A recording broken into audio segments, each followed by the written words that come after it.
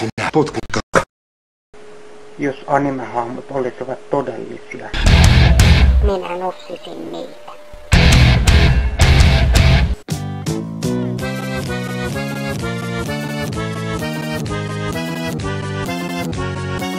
Ja muusi koko lailla Mymmeli on paljon isompi kuin pikku myy.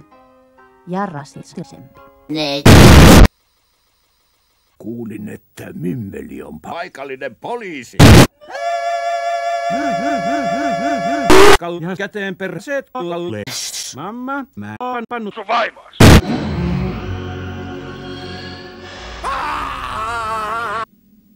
Ei ketään. Taidat olla oikeassa.